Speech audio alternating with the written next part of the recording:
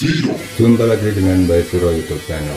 Kali ini kami akan berbagi pengalaman tentang bagaimana cara memangkas rumput kedut setelah kita pangkas, lalu bagaimana tindakan berikutnya.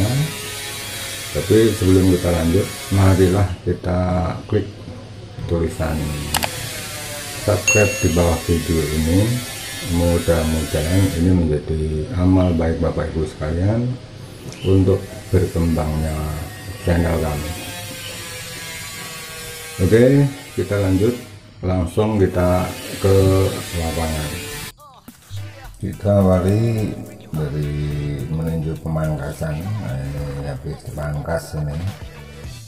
Jadi pemangkasannya mepet dengan tanah. Nah ini hasil pangkasannya jadi kira-kira dua ruas ada yang belum beruas ini tepat kalau untuk saya berikan untuk kambing. Jadi tidak terlalu keras tapi kalau diharapkan untuk dapat bobot yang banyak ya harus lebih panjang. Ya ini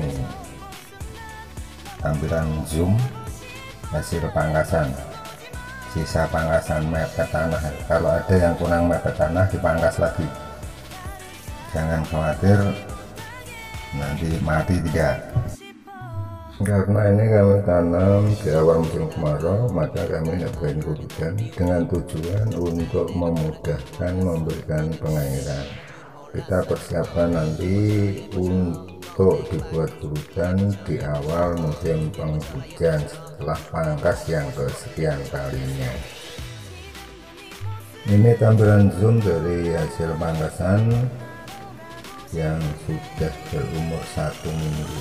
Nah gambarannya seperti itu menjadi tunas-tunas banyak sekali karena pangkasan yang mepet tanah itu akan menghasilkan tunas-tunas. Beda kalau pangkasannya itu dua ruas atau tiga ruas di atas tanah nanti ya hanya ruas terakhir pertama dan kedua itu saja yang muncul tunasnya. Ini tampilan rumput hebat yang ini yang sebelah kanan ini rumput yang siap dipangkas siap dipanen. Yang sebelah kiri itu hasil pangkasan yang sudah umur dua kira-kira tanaman rumput kami tidak berada di lahan terbuka tapi di bawah naungan pohon jati karena ini adalah kebun jati. Yaitu backgroundnya tampak sekali. Namun demikian kelihatan juga bagus. Ini tidak tidak pakai pupuk kimia ya. saya hanya pakai kopi kambing saja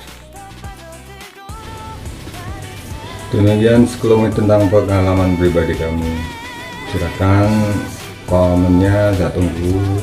Dan sekali lagi mohon subscribe nya mudah-mudahan bermanfaat. Wassalamualaikum warahmatullahi wabarakatuh